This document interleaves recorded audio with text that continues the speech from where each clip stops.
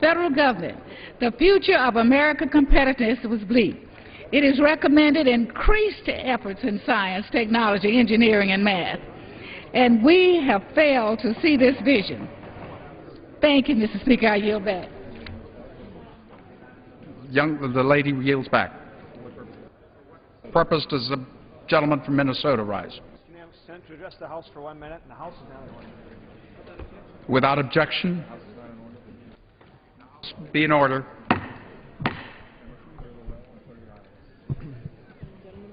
The gentlemen and ladies, please clear the well, clear the aisles. Gentleman from Minnesota is recognized for one minute. Thank you, Mr. Speaker. I rise today to congratulate Minnesota's Fire Officer of the Year, Dale Specken of Hopkins. Known for his can-do attitude, loyalty, and fairness, Dale has long had the respect of all of his colleagues because of his passion for teaching others about fire prevention and going beyond the call of duty to help others and the community. Dale comes from a long line of firefighters and in 1981 joined the family business. Working hard and rising through the ranks, he became Hopkins Fire Chief in 2005. Being the dedicated community that servant that he is, Dale also serves as the emergency manager and fire marshal for the city of Hopkins. I want to congratulate Dale on being named Minnesota's Fire Officer of the Year. Thank you for your many years of tireless service and for your unwavering commitment to our community. I yield back. Gentleman yields back his time. What purpose does the gentleman from California rise? To address the House for one minute and rise and extend my remarks. The gentleman from California is one minute. I was so pleased to hear my colleague a moment ago, Mr. Chair, uh, Speaker, talk about firemen. However, the continuing resolution that is now before this House would lay off 1,333 firemen across this nation. It would also lay off 2,410 firefighters across this nation. We're now into the sixth week of the Republican control of this House, and yet we have no jobs. But instead of a jobs bill, we have a jobs layoff bill. The continuing resolution will lay off tens of thousands, indeed hundreds of thousands of men and women all across this nation, from firefighters to cops to construction workers. 76 projects that are going to be built and infrastructure will be canceled. We're looking at 200,000 young children that will not be in the Head Start program, which means their teachers and the others that are running those programs will be laid off. This is the most anti-jobs bill I could possibly imagine. And here we are in the six weeks, no jobs, just job layoffs. I yield back my time. The gentleman yields back his time. For what purpose does the gentleman from Arizona rise? Mr. Speaker, um, ask for permission to address the House, unanimous consent to address the House for 60 seconds. The gentleman from Arizona, um, without objection, is given recognized for one minute. Uh, Mr. Speaker, today is one of those special days, and for many of us, you think of it as Valentine's Day, but for Arizona, this is our 99th birthday. Today we begin our 100th year. We, and the wonderful folks in Arizona, which is a stunningly beautiful state. For those of you who have not had a chance to visit us from the Grand Canyon down through the mountains, down even further to the desert plateaus, to the grasslands down south, come join us for our 100th anniversary celebration. All through this year, all up and down the state, there's going to be special activities, special dinners, special commemorations for the baby state, the Valentine state, that is Arizona, begins its 100th anniversary today. The gentleman yields back his time. For what purpose does the gentleman from Tennessee rise? The gentleman from Tennessee, without objection, is given one minute to address the House. Thank you, Mr. Speaker. Last night in Los Angeles, California, the Grammy Awards took place, and I'm proud that one of my Memphis constituents, uh, Kirk Whalum, received a Grammy. I'm also proud that, proud that a special award was given to Al Bell, who had been the head of Stax Records. But even further, there was a tribute to Solomon Burke, one of the great song uh, singers of all time. The tribute was done by Mick Jagger. Nobody can quite do anything like Mick Jagger. But it was fitting that Mick Jagger did Solomon Burke because Solomon Burke in the 60s was one of the first African Americans to do Bob Dylan. And Bob Dylan was there too. And then Eminem got the best rap song. So it was a good spirited night at the Grammys of biracial, cultural cooperation and understanding and love. Thank you. Gentleman yields back his time. For what purpose does the gentleman from Texas rise? Request permission to address the House for one minute. Without objection, the gentleman is recognized for one minute. Mr. Speaker, the EPA is now going after the farms and ranches that feed the American people. They say ranching and farming causes dust. Well, no kidding. So out with the dust and in with the more regulations and fines. Dust has been around since man first tilled the soil with primitive plows and herded sheep and cattle in the wide open spaces. The EPA also doesn't like the dirt roads used by pickups and tractors that crisscross the cattle ranches and farms that are in Texas and in the heartland of America. So the Environmental Police Agency is going to regulate the dust created by farming and ranching by imposing expensive fines on the breadbasket of America. The dust police rule would make it more expensive to feed America. First, it was punishing the domestic energy industry. Now they're going after the agriculture industry. Does the EPA wish that we import all of our food like we do crude oil? This sounds a little bit un-American to me. Maybe the EPA needs to just hit the road, and that's just the way it is. I yield back. Gentleman um, yields back his time. For what purpose does the gentleman from Minnesota rise? Without objection, the gentleman from um, Minnesota is recognized. Mr. Speaker, minute. I rise today to congratulate the valiant, heroic, brave people of Egypt who for 18 days took the street in Tahrir Square and used uh, the people power to stand up and to liberate themselves. For 18 days, they called on things like governance and to have a hand in their own destiny and their own democracy. Human rights, bread, dignity, things like that. I was so proud watching the people of Tahrir Square in Egypt stand up and claim their dignity back, and I, and I was proud to be able to say that so many Americans stood shoulder to shoulder with them. I also want to add, Mr. Speaker, that it demonstrated that the people of Egypt reject the philosophy of al-Qaeda, reject the philosophy of extremism, and use nonviolent tactics tested the world over to bring forth democracy. This is a wonderful testament to people who want freedom, justice, and equality to stand together peacefully. And it was so good, Mr. Speaker, to see people of multiple faiths, Muslims, Christians, other people, Jews, standing together to say we want a new day in Egypt. So, Mr. E, uh, Mr. Speaker, I yield back, and again, my hearty congratulations to the people of Egypt. The gentleman yields back his time. Are there uh, any other requests for one minute? For what purpose does the gentlelady from Texas rise? Without objection, the gentlelady is given one minute. As I was traveling, uh, Mr. Speaker, to Washington, I had the opportunity to uh, read the local newspaper. It's a good time for us to reconnect uh, with our community, uh, those that we have not been able to see, to hear their stories. And I was uh, impacted uh, by a story of uh, two students uh, at the University of Texas uh, from different walks of life who had had a passion for football in one instance and a passion for basketball in another instance.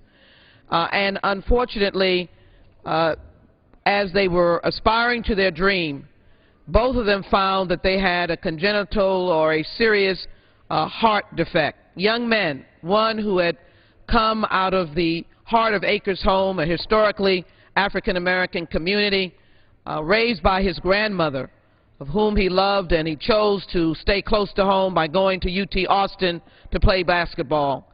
What a devastating blow to find out he could not play when he first got there. What about the young man, huge in size, uh, that almost lost his life on the football field? But the story is, uh, in this month where we commemorate African American History Month, one was a Caucasian and one was an African American. It just shows in this nation how we can work together and come together. These young men have, in a sense, overcome uh, their challenges, and they represent American heroes. I pay tribute to these two athletes at the University of Texas. Thank them for their leadership. I yield back. Again, are there further um, one-minute requests? Lays before the House the following personal requests.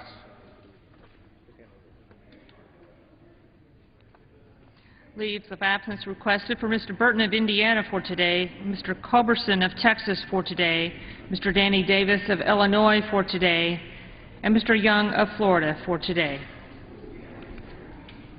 Without objection, the requests are granted.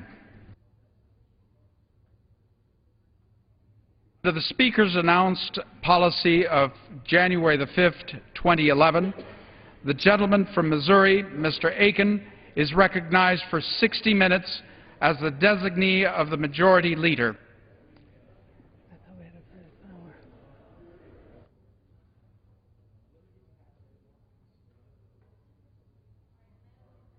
Not under the Speaker's announced policy of January the 5th, 2011, the gentlewoman from um, Virgin, Virgin Islands, Ms. Christensen, is recognized for 60 minutes as the designee of the minority leader. And I'm pleased to lead this special order for this hour on behalf of the Congressional Black Caucus and to have some of my distinguished colleagues join me. But as we begin this special order to call attention to the travesty that the Republican leadership is proposing in the cuts that they will be trying to enact for the balance of this year, I want to say something to begin to put these cuts into a particular perspective. I'm sure that everyone is aware that today is Valentine's Day, a day in which we supposedly celebrate love as the Republican leadership begins the onslaught on some very important programs, I want to share with them and all of us something that Dr. Cornel West has been reminding us of, of, as of late. And that is that justice is what love looks like in the public arena. Justice is what love looks like in the public arena. So on this day when we show those close to us we love them, we should also be showing the American people our commitment to justice. Mr. Speaker, the cuts being proposed with the continuing resolution are anything but just. With that, I'd like to yield first to our distinguished Assistant Minority Leader, Mr. Clyburn, the gentleman from South Carolina, who has been a leader for his state, for this Congress, and for our country, particularly a, a, leader uh, of high morals who leads this country in making sure that we stay true to the values that this country was founded on and um, continue to operate in that, in that vein. Uh, I yield such time as he might consume to Mr. Clyburn. Thank you very much. I thank the gentlelady for yielding me this time and thank her for her tremendous leadership on this and many other areas that come before this Congress. I want to uh, take just a few moments uh, to talk about an issue that's very, very important uh, to a significant number of citizens in our great country. The Wharton School of Business recently held a conference named in honor of Whitney Young, a leader and friend in the struggle for social justice, equality, and civil rights. Whitney Young is probably known best for growing and transforming the Urban League from a sleepy little organization into one of the country's biggest and most aggressive crusaders for social justice. What he is less known for is for his call for a domestic Marshall Plan, a program to eradicate poverty and deprivation in the United States, similar to the Marshall Plan that was launched to reconstruct Europe after World War II. I'd like to use that call for a domestic Marshall Plan as a jumping off point for my remarks this evening. Some of Whitney Young's ideas were incorporated into President Lyndon Johnson's war on poverty over 40 years ago. Yet the scourge is still with us. Before the war on poverty and the Great Society, we had the New Deal. All of these investments in America helped to move us forward as a nation. But some communities have been left behind each time. And we have begun to call them persistent poverty communities, hmm. places that have had more than 20 percent of their population living beneath the poverty level for more than 30 years. Approximately 15 percent of all counties in America qualify as persistent poverty counties under this definition. These counties are diverse and spread across the country, including Appalachian communities in Kentucky and West Virginia, Native American communities in South Dakota and Alaska, Latino communities in Arizona and New Mexico, African American communities in Mississippi and South Carolina, and urban communities in Philadelphia, New York, Baltimore, and St. Louis. Democrats represent 149 of these counties, with a total population of 8.7 million. Republicans represent 311 of these counties, with a total population of 8.3 million. 14 Uh, with a total population of 5.3 million are split between Democrats and Republicans. A total of 43 Democrats and 84 Republicans represent at least a part or one of these counties. 35 of the 50 states have at least one persistent poverty county. 15 of South Carolina's 46 counties meet this ignoble distinction, and seven of them are in the 6th Congressional District that I proudly represent. This is not a red state or blue state issue. That's why in the map beside me, the persistent poverty communities are colored in purple because poverty knows no political affiliation. Poverty has never been limited to race, region, or creed. For many years, counties along the I-95 corridor in South Carolina were passed over for uh, economic development. Federal funds found their way to South Carolina, but mysteriously did not find their way into the 6th Congressional District. The I-95 corridor is plagued with health disparities. The 6th District has the dubious distinction of leading the state in incidents of stroke, heart disease, and diabetes. We lead the state in amputations for both adult and juvenile diabetes. This region is known as the buckle of the stroke belt and is home to the highest rate of prostate cancer deaths among black males in the South. Scientists tell me that many of these health problems are directly related to water quality. In some of these places in my district, the water is not fit for human consumption. One particular instance in which my office was involved, the health department would not allow a water hookup to a home because of the contamination. Yet, the people still drink the water because they have no choice. Two years ago, I authored a provision in the Rural Development section of the Recovery Act that we call the 10-20-30 formula. It stipulated that at least 10% of the funds be targeted to counties where at least a 20% poverty rate has persisted for the past 30 years. The formula is working.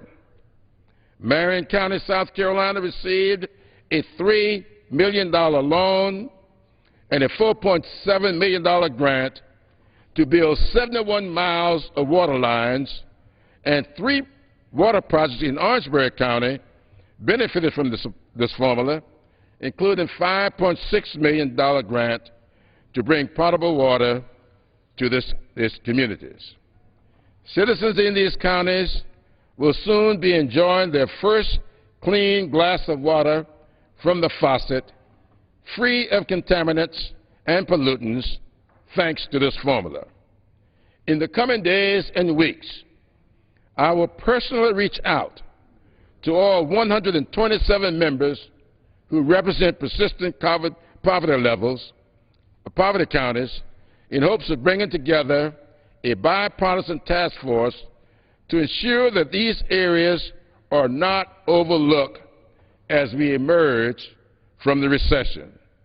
Hopefully, this task force will work to build on the success, success of the 10-20-30 formula in the Rural Development Program by extending it to all federal departments with grant-making authority going forward.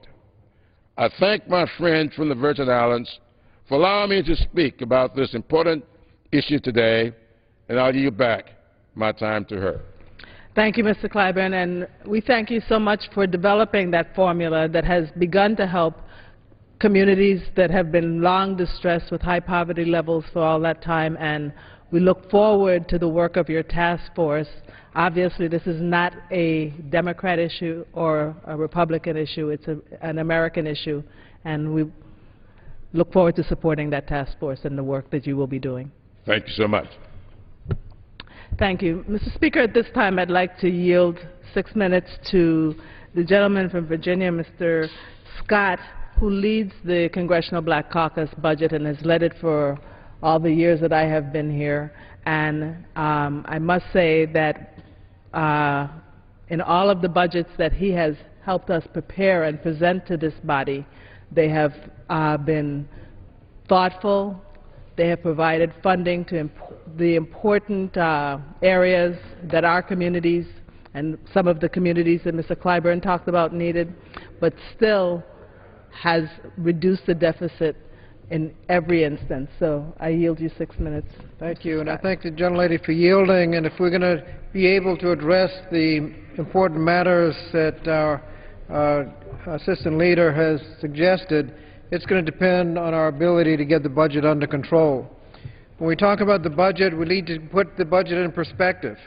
Uh, I was first elected in 1992, and in 1993 we considered a budget that put an end to fiscal recklessness we passed a budget that by the end of the eight years of the Clinton administration had not only eliminated the deficit, but had created enough surplus to have paid off the entire national debt held by the public about two years ago. That would mean that we'd owe no money to Japan, no money to China, no money to Saudi Arabia. That budget also created a record number of jobs and record economic activity as noted by the record uh, increase in the Dow Jones Industrial Average. So we had a good budget. We had fiscal responsibility, but unfortunately in 2001 we came, that came to an end when we reverted to fiscal irresponsibility. Under the Bush administration, we passed two tax cuts without paying for them, a prescriptive drug benefit without paying for it, fought two wars in the middle of cutting taxes, a $700 billion bailout, all of which put us in the economic ditch. Now, in order to get these uh, large deficits we now have under control, we're going to have to make some tough choices. Uh, unfortunately, last year we started off in the wrong direction. We considered a huge tax cut bill uh, last year that went in the wrong direction. Its total cost, two-year cost of $800 billion. And to put that in perspective, $800 billion is more than we spent in the TARP program, about the same as the stimulus, about the same as what the health care bill spends in 10 years, that tax cut bill spent in two. In case people don't really appreciate how big a bill that was, we checked with the National Conference of State Legislatures and ascertained that the total general fund budget, add them up, of 50 states, general fund budget of 50 states was $650 billion. We, in one vote, cut taxes by $800 billion. And before that bill was passed, we asked, well, how are you going to pay for it? Uh, one of the ways that um, we jeopardize Social Security in the bill, cutting the payroll tax. The money coming into Social Security will be uh, has, will have to be subsidized by the general fund. Uh, that puts the Social Security program in competition with everything else in the budget. And so we put Social Security in jeopardy, and we also had tax cuts for dead multimillionaires. I say dead multimillionaires because everybody expected us to have a, an exemption of $3.5 million, 7 million per couple, uh, where you pay no taxes and begin paying taxes after that. Well, we increased that exemption for the amount you can get without paying any estate tax to $5 million. That additional, and reduce the rate, that additional assistance to dead multimillionaires cost $24 billion. Again, how are we going to pay for it? You can look at the continuing resolution in next year's budget, a budget that the Republicans have already attacked for not cutting enough, and look what it does to the safety net. LIHEAP, the low-income heating assistance, heating and energy assistance program for those that can't pay their energy bills and are risk freezing to death, we cut that by half a billion dollars to help fund the multimillionaires uh, tax cut. Women, infants, and children, the WIC program, so that babies can be born healthy and start off on the right track. We cut that program. Job training and employment services for those who've lost their jobs and may never return, trying to get a job that will be there. We cut that program. Community health centers, public housing, in a time of record foreclosures. We're cutting those programs to fund that, partially fund that tax cut. Opportunities. Head Start. We only, we only address the needs in Head Start for half the eligible children. We're going to cut Head Start to deprive those children, in addition, millions of children, of that important opportunity. Uh, starting off on the right track, we found that Head Start will increase graduation, graduation rates, reduce uh, delinquency, reduce need for welfare, save more money than it costs. We're cutting that program. TRIO and Gear Up, programs that encourage young people to go to college cutting those programs. Assistance to historically black colleges and universities and Hispanic serving institutions uh, by significant amounts. Those, those uh, deal with a lot of first-generation children. Uh, fund for improvement of post-secondary education, cut. Our investments in America's future, uh, NASA, National Aeronautics and Space Administration, National Science uh, Foundation, Advanced Research Project, all cut. These are investments in our future. National Infrastructure Innovation Fund and rescinding um, billions in high-speed rail. Other countries are investing in high-speed rail. We're cutting high-speed rail. Now, we, can, we should be more responsible when it comes to balancing the budget. We can do it, but you can't do it by beginning the discussion with an $800 billion tax cut without telling people how you are going to pay for it. Cutting critical safety net and uh, programs, uh, initiation uh, initiatives to give opportunity for our youth and initiatives that will invest in our future. These are the things that are being cut to fund that tax cut bill from last year. You cannot disassociate ourselves from the connection cuts that we're making today from the tax cut bill that we passed before. People are saying, well, they don't, they don't know, we, we can't afford. Well, we could have afforded had we not passed that tax cut. We need to rescind what we did last year so we do not have to make these draconian cuts this year. We should have been honest with the people last year, and I don't think the people want cuts in Social Security, the safety net, and investments in our future. We can do better, and that's why we're going to be fighting against these draconian cuts that are so important to so many people and make sure that we go off and continue on the right track as we did in 1993 where we could pass a responsible budget address the needs of the people, create jobs, economic activity, and we were on course to paying off the entire national debt. I yield back to the gentlelady from Virgin Islands. Thank you, Mr. Scott. And I remember when uh, the tax cut was the tax cuts were being debated, and you led us because we knew that um, those tax cuts would be coming, would be paid for by cuts to the programs that our communities need most and that the American people want. The Pew um, Foundation did a poll that showed that people don't want cuts in those programs. And um, it was interesting, Paul Krugman, Paul Krugman in the New York Times today uh, made a good point when he suggested we call the bill, because the bill doesn't have one of those nice names that are usually attached to Republican bills when they're doing something that would hurt the public.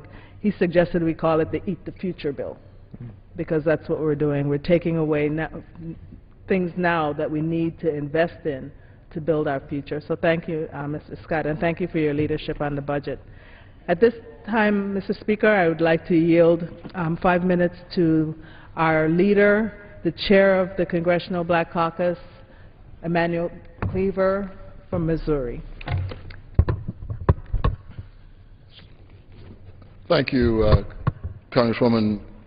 I think that uh, what uh, Congressman Bobby Scott just said uh, has to uh, be echoed, and I, as is often said on the floor uh, of this august chamber, is that I would like to associate myself with the comments of the previous speaker. Uh, Congresswoman Donna Christensen uh, has uh, Uh, led the, the discussion uh, on this vital issue that uh, we will not be silent about. Mr. Speaker, in my real life as an ordained United Methodist pastor, I say to our congregation and congregations where I speak that if you want to know what a person is really like, if you want to know who a person really is, look through their checkbook. The checkbook will reveal quite clearly what a person believes in. The same thing is true of a corporation uh, and a nation. And the budget of the United States is a bold statement about who we are as a nation. Uh, it says clearly what we believe in and the things we don't believe in. It is a statement that paints a picture of the United States of America. Mr. Speaker, the picture that is being painted now uh, is a picture that could be used uh, on uh, the Chiller Channel uh, it is a picture of a, uh, of a nation that uh, would prefer to move toward deficit and debt reduction by unduly placing pain on the poor, or most appropriately and significantly uh, on the men and women of this country uh, who are now uh, pushed aside. Normally, when we talk about the, the poor, in people's minds, they see minorities and people who are lazy and shiftless and who don't want to work. We are experiencing the greatest economic crisis uh, since uh, October 29, uh, October 1929. And the people who we are uh, looking at as being uh, available to be discarded are police officers and teachers and state employees and municipal workers who've been laid off. Every state in the union is having financial problems. Every state in the union is laying off employees. In my hometown, uh, Kansas City, Missouri, uh, we have a $60 uh, million shortfall. Uh, the state government has a $200 uh, million uh, shortfall. And so state workers are being laid off. Uh, what we are saying now is that the people who are already experiencing pain should get ready to experience some additional pain. And I have heard over and over and over again, well, we, everybody must share in the pain. And the question that I have asked that nobody has answered. I asked this in our committee last week. Why? Why should everybody end up uh, suffering? Uh, because everybody didn't contribute to this problem, number one, and on, on top of that, the individuals who were uh, hurt as a result of the, the recession, we're asking to, to, to receive some additional uh, pain, and that is simply uh, not the way I think we want to project ourselves to ourselves and certainly to the international uh, community. Here's, as, as, Congressman, as Congressman Scott mentioned, we had a tax cu uh, cut, uh, and, and uh, made some major decisions before we went home for Christmas, and nobody uh, stood on the floor and repeatedly asked the question how are we're going to pay for it. Well, now uh, we're going to pay for it by equally, as we like to say, uh, trying to place the pain on everyone. We're not talking about getting rid of Freddie Mac and, and Fannie Mae. And the, the amazing thing is that the people, Wall Street, who caused much of the problems are now being rewarded for, calling, for causing the problem. We're going to say, okay, we're going to privatize Fannie, Fannie Mae and Freddie Mac. Uh, we're going to do all kinds of things that would accommodate uh, the, the Wall Street barons who helped cause the, the crises. And the poorest uh, people in this country are going to end up suffering even more so. Uh, we even had to fight to continue unemployment benefits. We had a battle on this floor to continue the unemployment benefits for people uh, who, no fault of their own, lost their jobs police officers, firefighters. And then we come out with this budget. This budget uh, that we're about to uh, debate is a nervous breakdown on paper. It is not something that we can be proud of as people of the United States because it shows that uh, we don't uh, think in terms of trying to minimize the pain on the least of these. Now, to be sure, the United States faces uh, a painful and profound problem uh, with our deficit and our debt. It has to be dealt with. I asked this in committee last week. I'm on the Financial Services Committee. I asked this question last week.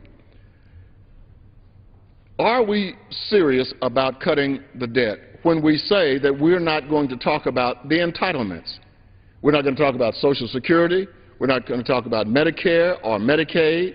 Uh, and uh, we, we, certainly can't do anything with the, uh, the annual uh, debt service, which is a part of the budget uh, that we uh, can't make decisions on. We have to pay it. and so if we are not seriously trying to reduce the deficit by dealing with the entitlements, uh, then what we're saying is we're going to play with the, the American public, uh, tell them that we're trying to be serious about the debt, when we know we're not. This is not going to do any kind of substantial uh, uh reduction in our, in our deficit over the long term. We've got to seriously deal with this problem, and we're not doing it. We Nobody wants to talk about uh, the, the, the Social Security issue because they're thinking about reelection. Not because it shouldn't be dealt with, but they're thinking reelection. And there's criticism, well, the President should have led the discussion on, on reducing or changing the, the uh, uh, retirement age uh, on Social Security to a higher uh, number or uh, somehow creating a, a, new system whereby uh, we have a means test where uh, individuals who are making $500,000 a year simply can't also draw their Social Security. We're not even talking about that. And there is nobody on this Hill who can stand up and say that we can address this problem very seriously without dealing with uh, the entitlements. And so I am uh, sorry that we're going to hurt uh, so many people uh, in the process of just kind of tinkering around the edges of what is a very serious problem. My final comment, uh, uh, Congresswoman Christensen, is that there were a lot of people who ran for office and said, you know, we're going to deal with this debt deficit. But even they are not talking about the, the only way in which we can change uh, this, this, this problem that we're having. Every economist will tell you that uh, that that's the only way we're going to deal with the, the deficit. There's not a single economist uh, who is uh, credible who will say that we can deal with this in any other way. And yet, we're not dealing with it. And it's, and it's really a, a great, a great uh, tragedy. Uh, I, I, do think, as I conclude my uh, comments, Ms. Christensen, that the, the, the whole issue of, of what we're doing uh, is so painful that even Ben Bernanke is saying, yes, we have to make cuts. But he's also saying you've got to be careful. Look, uh, the United States is the only entity putting money into the economy in any serious way right now. And if we withdraw it, there could be economic consequences of, of withdrawing the kind of money that uh, we're talking about uh, withdrawing. Some of us are going to, are going to challenge it at every uh, opportunity because it is the wrong thing to do. I yield back the balance of my time. Thank you. Uh, thank you, Chairman Cleaver. And we're certainly fortunate to have you leading the Congressional Black Caucus at this time. And uh, I think uh, we need a pastor to lead us. My, I, church yesterday, my minister spoke about our need as Christians, but this would apply to any faith, that we must be on the side of the dispossessed, the helpless, the hopeless, and the marginalized. And the cuts that the Republican majority plans would clearly hurt the least of these and um, are definitely not on their side. I want to yield at this time three minutes to the gentlewoman from Texas, uh, Congresswoman Eddie Bernice Johnson. Thank you very much, uh, Congresswoman Christensen. The National Science Foundation was created in 1950. The Defense Advanced Research Projects Agency, or DARPA, and NASA were created in 1958, and the Department of Energy was established in 1977. Some of the technologies which originated from these federal investments includes the laser, internet, fiber optics, and nuclear power. Companies which sprang forth from these efforts include companies like Google, SAS, Cisco Systems, Arbiter Sciences, and Sun Microsystems. These five companies alone employ 130,000 people. 130,000 jobs which were created from relatively modest federal investment, and there are hundreds of companies which had their beginning in federal research grants. The equation is clear. Federal investments in research and development lead to new technologies and products which create jobs. And on the other side of the equation, focused investment in STEM education produces a highly skilled workforce which ensures these high-tech jobs stay in America. At a Science and Technology Committee last session, Tom Donohue of the United States Chamber of Commerce had this to say. Research and development is the very lifeblood of our knowledge economy. That just about sums it up. And in addition to investments in R&D that also help to increase the participation of minorities uh, in the R&D enterprises, through the efforts of many in Congress, including those speaking tonight, we've made great progress in expanding the pool of talent that this country can draw on to address the competitiveness challenge that we are facing. However, the CR before us this week would take us back and undo much of the good work that has been done to date. Let me just quote a few negative impacts of this proposed CR. The CR would severely reduce by 78 percent funding for Hispanic servicing, servicing colleges and completely eliminate federal support for several other programs for minority-serving colleges, including tribal colleges and institutions and that serve significant numbers of black and Asian students. The Key Education Department program for historically black colleges and universities would lose $85 million of the 266 million it received in 2010, in, in 2010, or about a third of it. The CR eliminates 103 million for the Tech Prep program vocational education, which heavily benefits community colleges, and would also get funding for the creation and support of statewide education data systems and eliminate all congressional earmarks for inst individual institutions, which in 2010 total almost $2 billion for colleges and universities. Under this proposal, Title I would be cut by $693.5 million. The cut to Title I of the Elementary and Secondary Education Act would mean 2,400 schools that serve nearly 1 million disadvantaged students and would lose funding for teachers, tutors, and after-school programs. Nearly 10,000 teacher aides could lose their jobs. Head Start was targeted for the, one of the biggest deductions, a $1 billion cut below fiscal 2010. The massive cut to the Head Start program would remove 218,000 low-income children and families and close more than 16,000 Head Start and early Head Start classrooms across the country. It would leave 55,000 teacher and teacher assistants and related staff without jobs. The Pell Grant Scholarship maximum award would be reduced by $845 from $5,550 to $4,750. Many of the 9.4 million students who are projected to receive a Pell Grant in 2011 and 12 school year would see a lower grant award requiring them to take on more loans for their college tuition. In addition, it makes cuts to the programs of the National Science Foundation that would lead to elimination of huge research grants affecting thousands of researchers which can only have a negative impact on opportunities for, for minorities and all to make contributions in science and technology. And I could fill up an hour debate if I were to list Department of Energy, NIST, NASA, NOAA, and EPA. Each of these agencies is critical to our future competitiveness, and each of these agencies is slated for ill-founded cuts.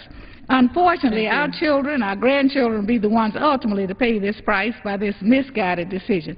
Thank you, and I yield back. Thank you. Thank you, uh, Ms. Johnson, a former chair of the CBC and a leader in science for ma uh, many years.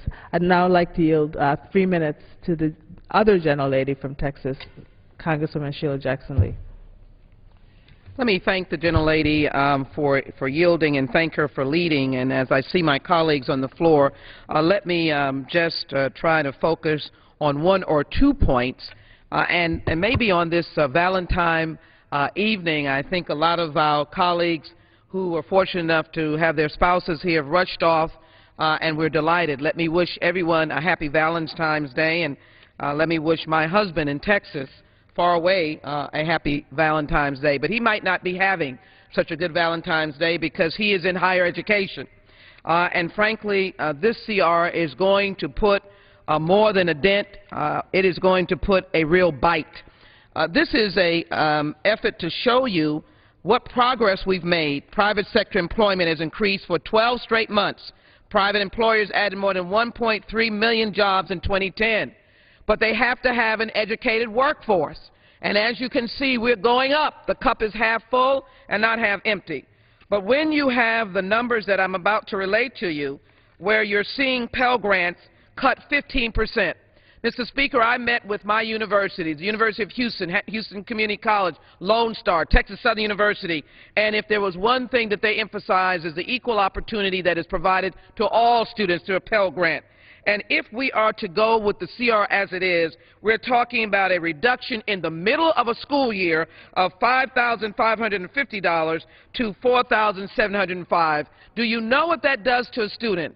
It doesn't tell them, let me try to ramp up my extra job. It says I am dropping out. You know what happens to the workforce? It disappears.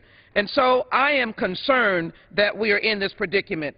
So let me tell you something else. I have been a strong champion of the Cops on the Beat program, and we have seen evidence of the fact that we have gained in the downsizing or the decreasing of crime. The proposed CR will cut $600 million in funding to community-oriented policing, and of course what will happen is 3,000 fewer officers. You can be assured Houston, Texas, who got their first COPS grant just a few months ago that I worked very hard on, will be one of the victims of that.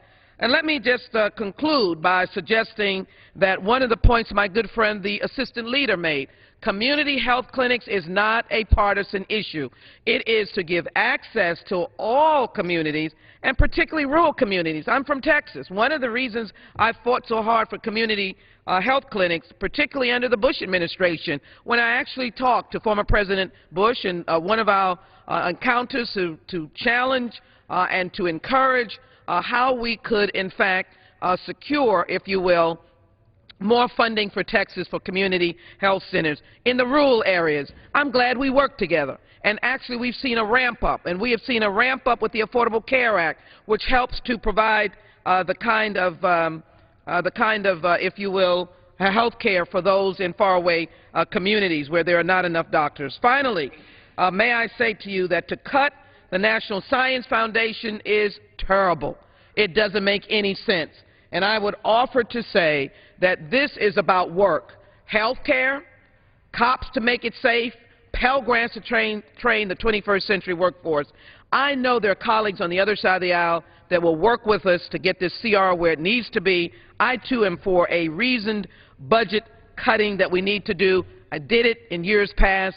We balanced the budget in 1997. We can do it again. And I frankly believe we should not cut into the very quality of life that is so needed. Let me thank uh, my good friend and the Congressional Black Caucus, working with my other colleagues to ensure that we stand for job creation, investing in job creation. Unfortunately, the CR as it stands today, continuing resolution for those who are not assured of what that is, is not going to work. Let's invest in America. I yield back.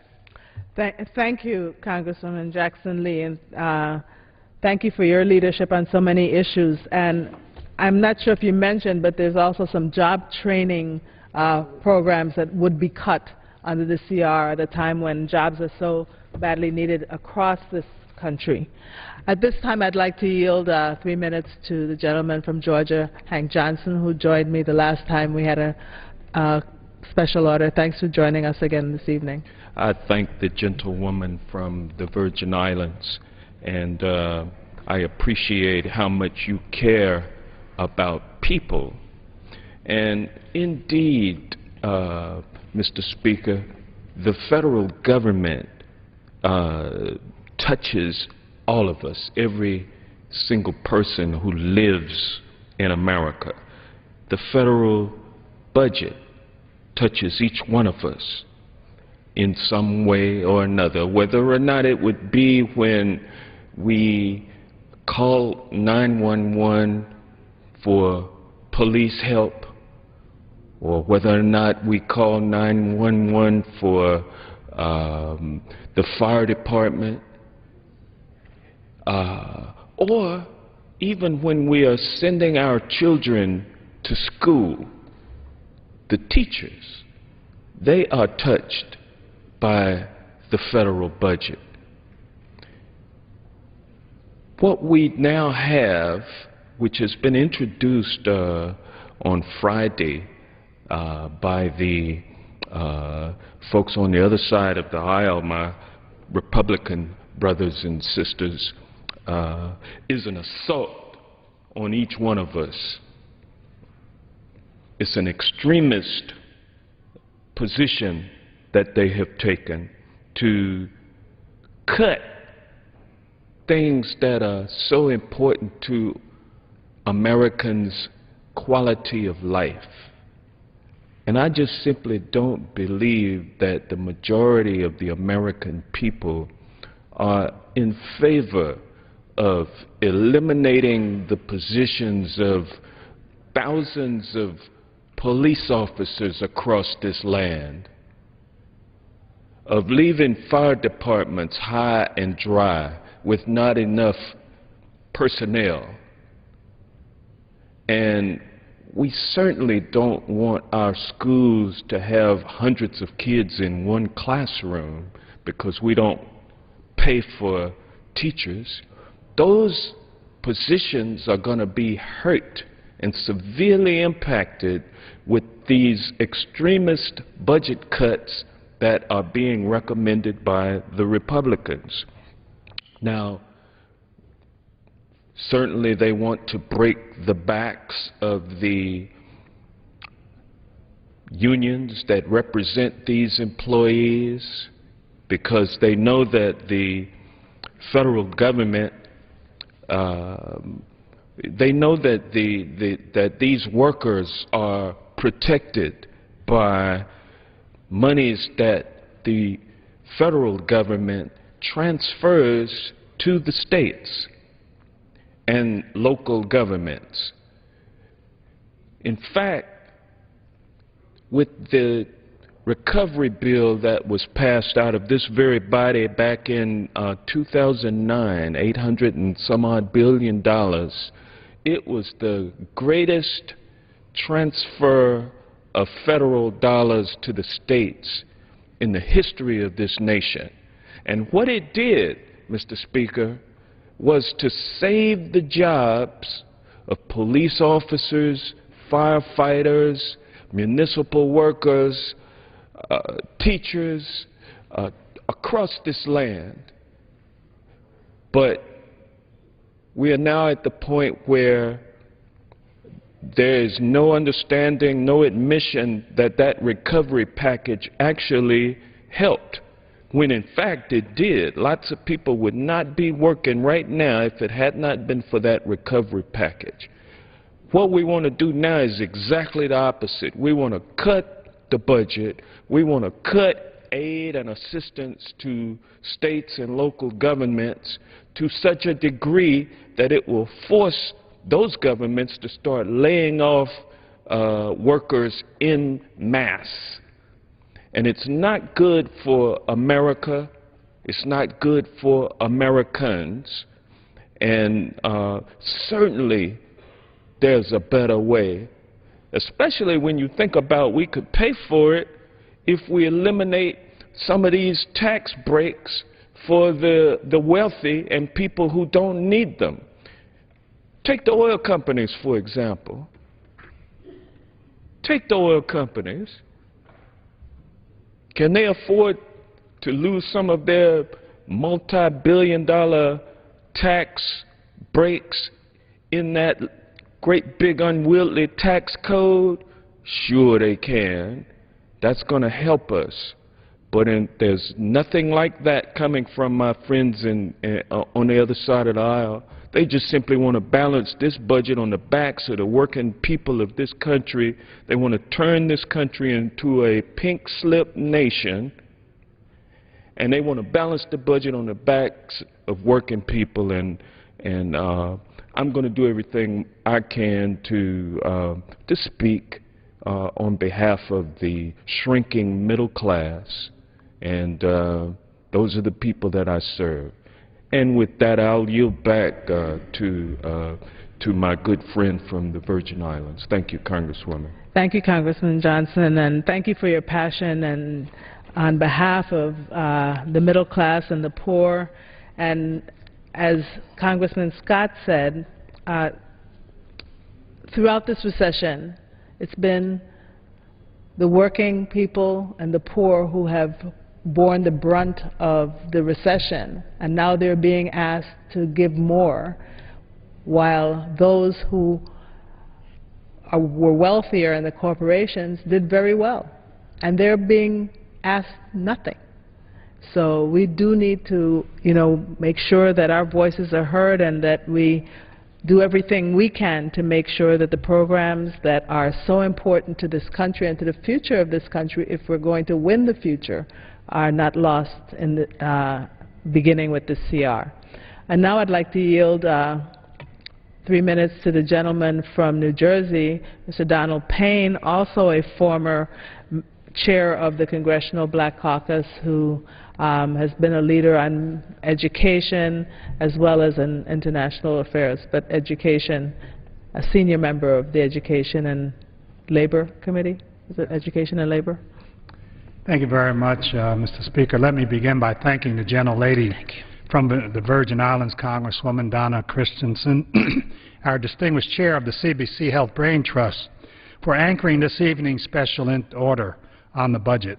Her leadership and continued diligence in addressing the issues that confront our nation in general, but African Americans in particular, is imperative to our progress as a nation. Recently, Republican House leadership introduced a continuing resolution containing the largest spending cuts in history. Subsequently, President Obama unveiled his FY 2012 budget to support the nation's competitive growth while making difficult decisions to address our economic deficit. I rise today to urge my colleagues to remember as we consider these spending proposals that in addition to our economic deficit, we have a job deficit, which continues to worsen in part by an ever-growing educational deficit. They work together.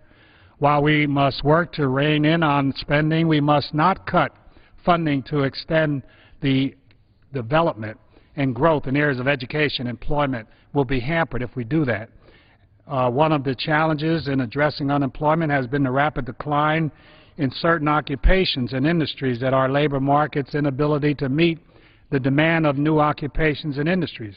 More than two-thirds of workers in occupations and industries that are growing have at least some post-secondary education, compared to one-third of workers in occupations and industries that are declining.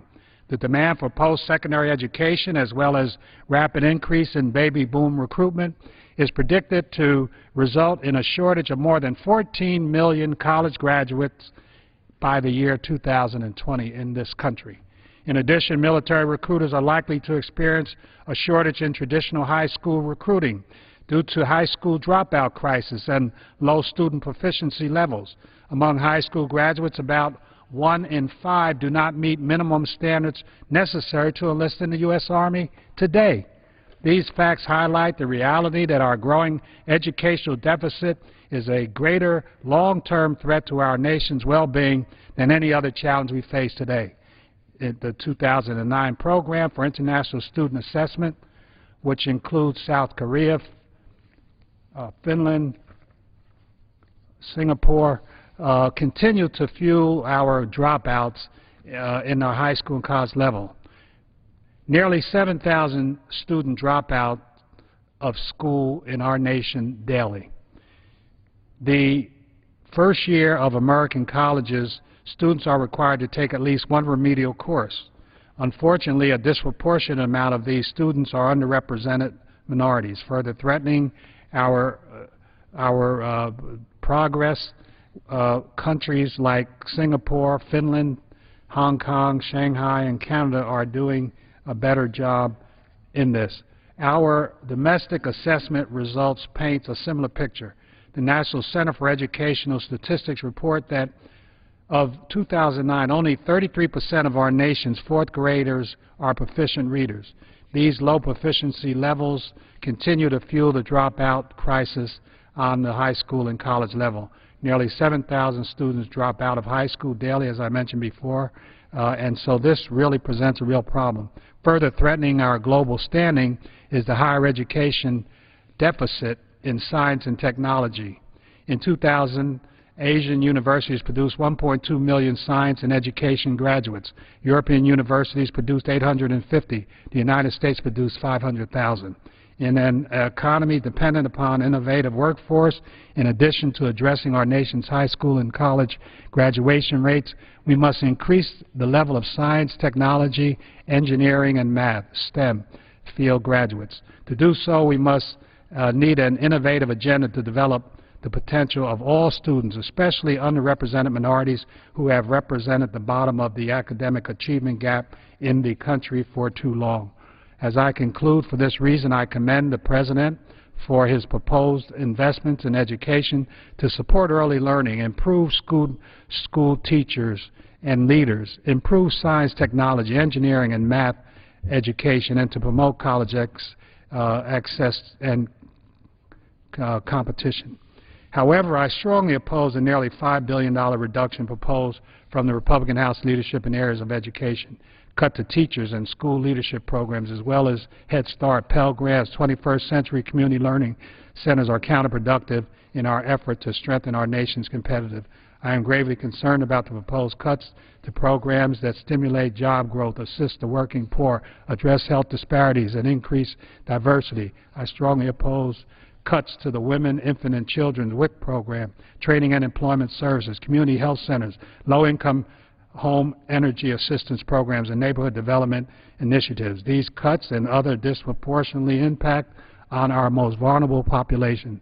While I understand that our economic crisis calls for difficult budgeting constraints, I believe this should be a shared responsibility, not an overhaul of the nation's economic crisis at the expense of the most vulnerable population in our global competition as well as a nation. Thank you very much, and I yield back. Thank you, um, Congressman Payne, for